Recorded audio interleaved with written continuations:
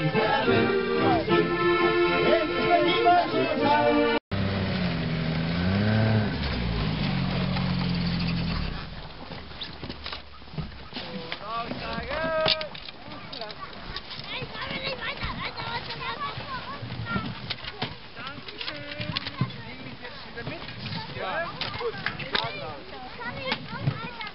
Ah, da kannst du nicht mitfahren.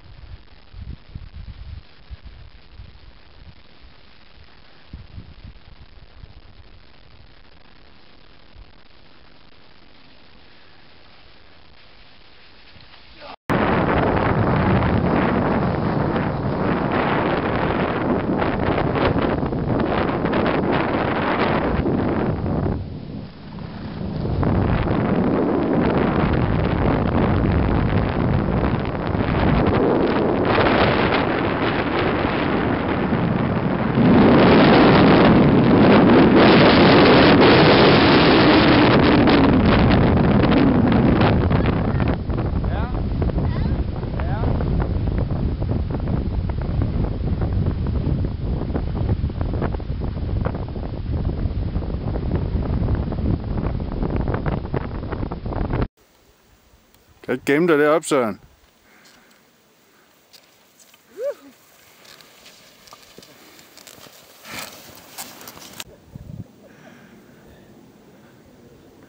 Jeg tror, den løber tør for batteri.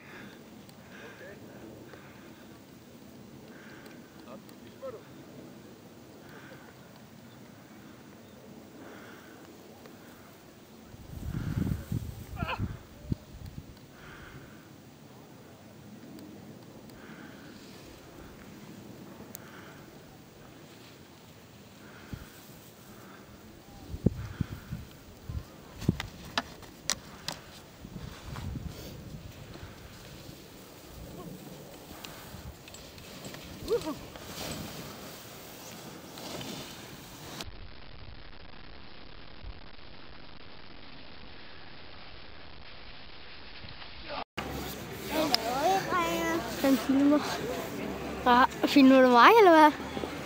Hallo? Hallo? Das ist gut. Also, ein Däne hat mal gewonnen, soweit wissen wir schon.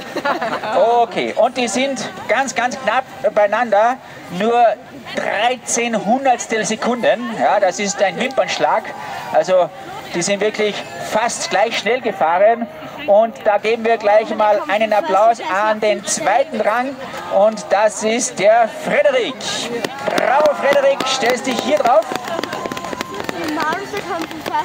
Oh, jetzt habe ich mich ein bisschen verlesen mit der Zeit. Es sind doch mehr als 13 Zehntel. Ich habe nur die Hundertstel gelesen. Der Magnus ist am ersten Rang, hat sich doch mit über zwei Sekunden durchgesetzt, sehe ich gerade. Magnus, kommst du nach oben?